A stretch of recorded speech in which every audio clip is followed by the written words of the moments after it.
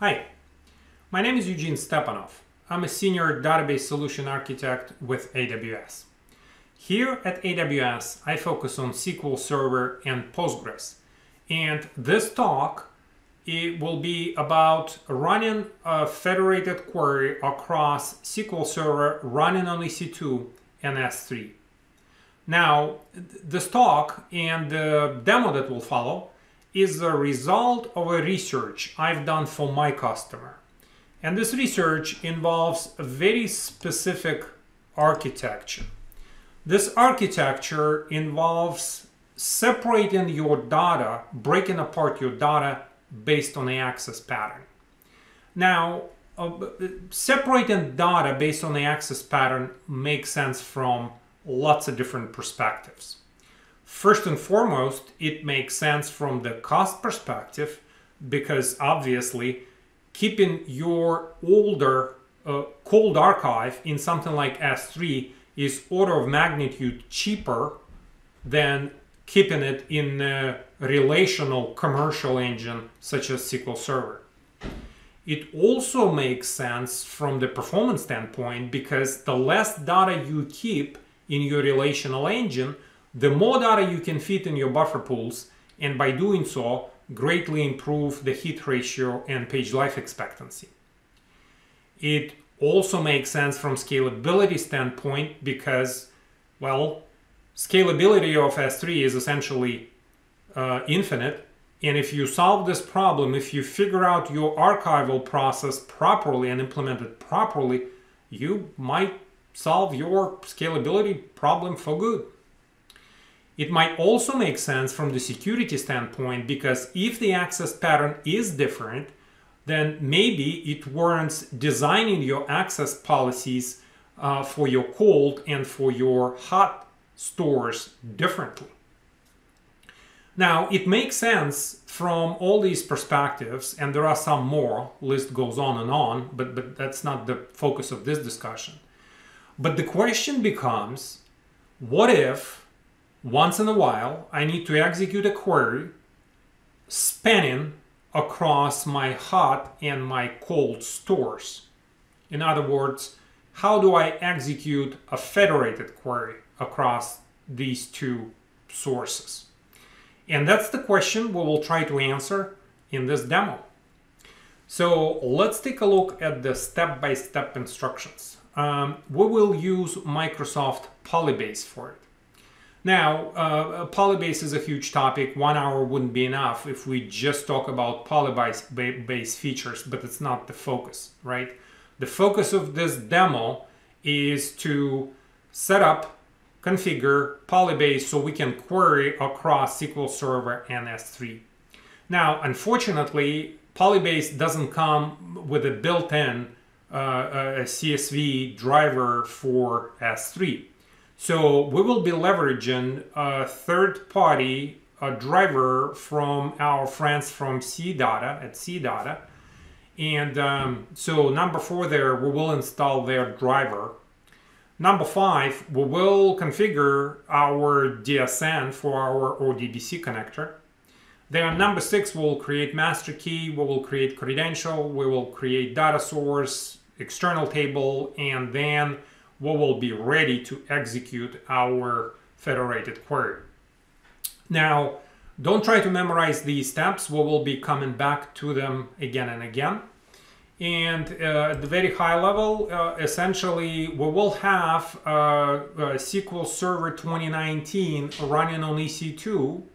And then we will have a very simple uh, CSV file uh, sitting in my S3 bucket and we will configure Polybase so we can we can uh, query them. All right, with that, let's jump straight to the demo. So before we begin, let's review the environment first. I'm here on my EC2 console and I have two boxes. I have a jump box and I have a development box. Jump box is nothing but an EC2 instance. It's a Bastion host. It's sitting in the public subnet with a public IP. Now, now my development box, on the other hand, is in the private subnet, and that's why I have my SQL Server 2019 Enterprise with Polybase installed on it. it, it Polybase is installed already. I'm not going to repeat it during this demo. Uh, now, uh, obviously, it's a best practice to keep your uh, any database workload in the private subnets because exposing it to public internet that's just a recipe for disaster. Now, let's take a look at the file now. Here's the very simple and meaningless uh, CSV file. It has three columns, uh, ID, large photo, which contains hexadecimal, uh, and then there's the photo size in bytes. I wanted to see if I trigger any exception um, trying to push uh, large uh, records through the polybase and, and we will see the results. We will see those photo sizes in bytes. And then on S3 side, let me show you, let's go to now S3. I have one bucket, well, I have many buckets, but one bucket is relevant to this test. It's polybase test, and that's why I have my tab delimited file. It's called tabular underscore photos.txt. That's the file we just looked at. Now I'm leaving one part out of, out of the demo, and that is configuring the connectivity between the EC2 instance in the private subnet and the S3 bucket. Obviously, there are two ways. You can go out to the public internet and then come back in through the public endpoint, or you can deploy a gateway an endpoint um, in your VPC and essentially establish communication uh, all through the private infrastructure. I'll leave it up to you to figure that out. This is not part of this demo.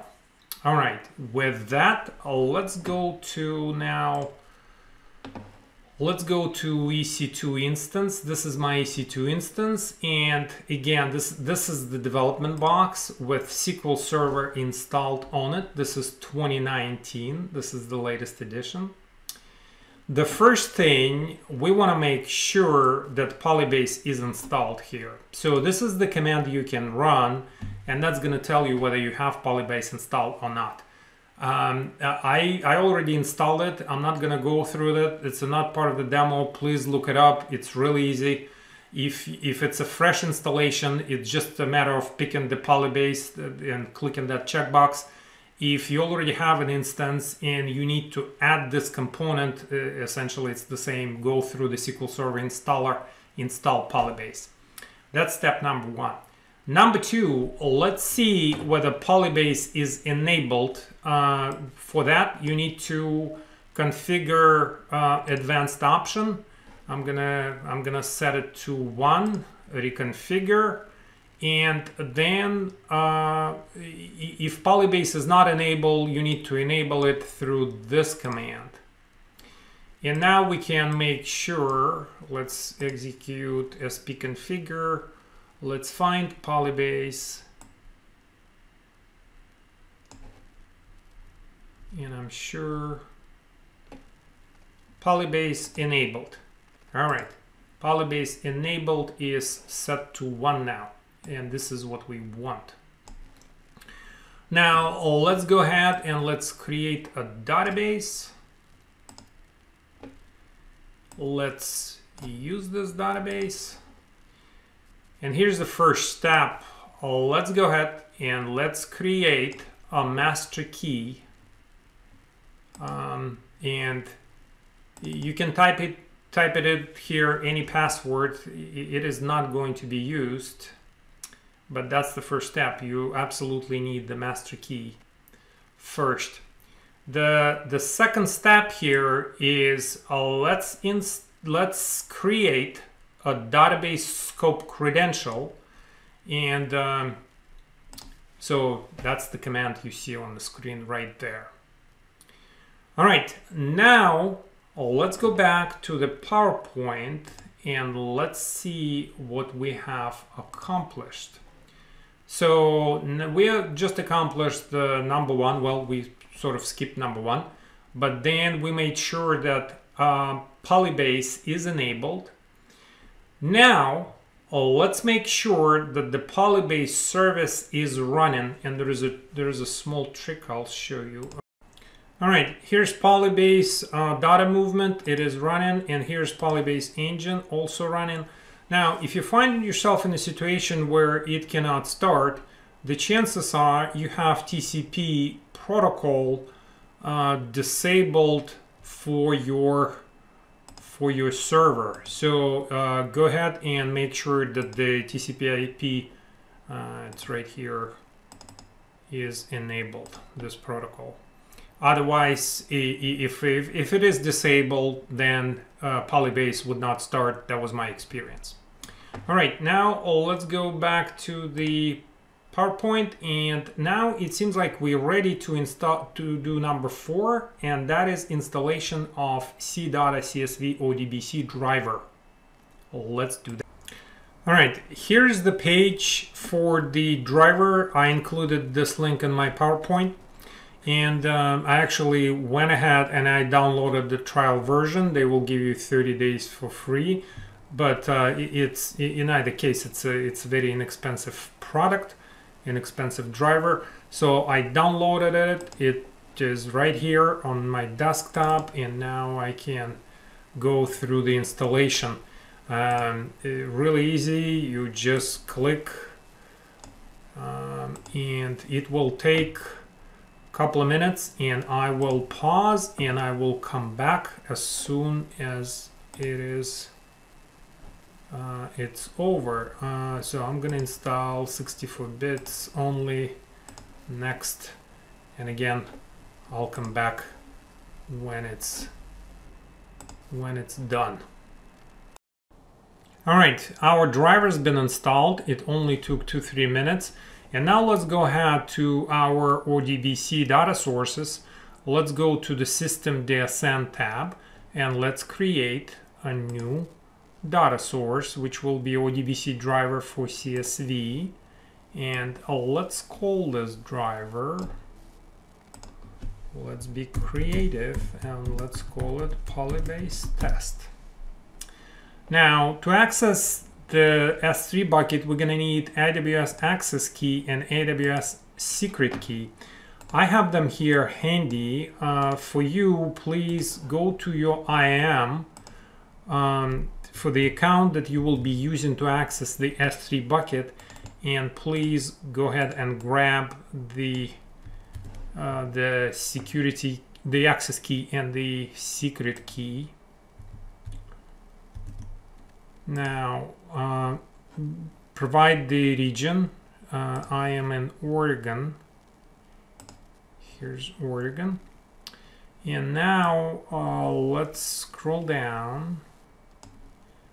URI. URI is here. So what we need here, we need URI of our S3 bucket. All right, this is our S3 bucket. Let's scroll down. And here on the miscellaneous, let's flip the CSV delimited to tab delimited because our file is tab delimited. This is it. Let's go ahead and let's test this connection. And it seems like connection uh, connection test was successful. Let's go ahead and let's create it. Now, uh, oh, one more thing. Let's go ahead, click on Polybase test. Let's go configure. I'm repeating myself here, but I want to convey this point to, to be crystal clear. Um, it's the IAM user that we just supply the access key and the secret key for that will be used to access the S3 bucket. Now, if we go back to our SSMS script, um, you remember that we've created the master key and the database credentials. These credential uh, credentials have nothing to do with the S3 bucket. I hope that makes sense. And now let's go to the tables tab and now we should see our table tabular underscore photos.txt. Click on it and you will see our three columns. So this is very important. The, the, the create external table command should match the, the names and the data types of these columns right here on this tab. All right, with that, uh, let's jump to our SSMS and uh, let's create our external data source. Uh, let me expand this. So here's the command. Uh, let's go ahead and let's execute that. So here on, um, for the location, I'm specifying local host. For the connection options, I'm specifying the name of my DSN, DSN that I just created. Here's the push down option. If you set it to on, then Polybase will try to push the predicate down to your external source and execute it at the external source. I set it to on, and then here's my credential. Um, and now we are ready to execute our create external table. And again, as I mentioned before, the schema of this table should match the ODBC for CSV driver definition, the one we saw on the previous screen. All right, uh, let's go ahead and let's create that. Table is been created. And now let's go ahead and let's maybe execute uh, this statement. We will execute select star against photos and now you see the data coming from the file that's that is sitting in my S3 bucket. All right, before we wrap up, let's do one more test. Let's go ahead, let's create internal table, let's populate it, and let's do a join between internal and external table. So uh, here, very simple, one column, one column table, ID as integer. Let's populate that table with the IDs from that external table, all right? 606 records been successfully inserted. And now let's join our traditional table with external table. Here's the result. So the one ID column came from the uh, local table and the rest of the columns ID, large photo and photo size in bytes came from external CSV file sitting in S3 bucket coming through Polybase and being properly joined with the, with the local table. That brings us to the end. I hope that was beneficial and at the end I would like thank every single one of you for finding time and watching this video. And at the end, happy computing from all of us at AWS. Thank you very much.